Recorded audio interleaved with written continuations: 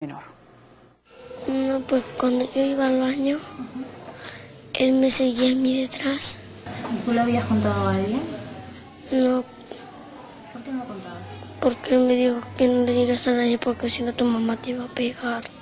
Tiene ocho años y hace cinco días no asiste al colegio. Tiene temor y vergüenza de encontrarse con quien fue su profesor.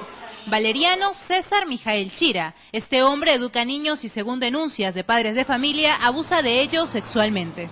Bueno, este, este profesor lo ha estado tocando a mi hijo eh, dentro del colegio, en el baño del colegio, lo ha estado tocando, eh, lo ha estado tocando indebidamente.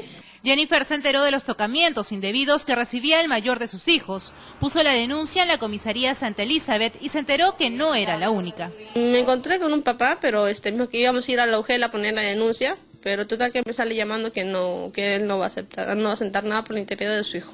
Este profesor, que tiene cuatro denuncias por actos contra el pudor, estuvo preso cuatro años en la provincia de Guaitará, en Huancavelica, por violación a un menor en la institución educativa 22023. Señor Valeriano, Valeriano Misagel no trabaja en el sector porque fue separado como consecuencia del delito contra la libertad sexual cometido en agravio de un estudiante.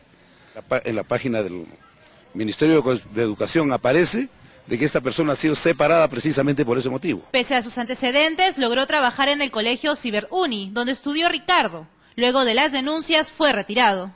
Algunas madres del plantel cuentan que también era violento. Ella comentó, ah, le contó a su papá, a mí no me lo contó, a su papá le dijo que le había tocado su, su parte íntima, ¿no? Y que ella no había hablado porque ella tenía temor, miedo, inclusamente que el profesor le pegaba con la regla en la mano, ¿no? El caso se encuentra en proceso de investigación en la segunda Fiscalía de San Juan del Urigancho. Mientras tanto, el paradero del profesor es incierto.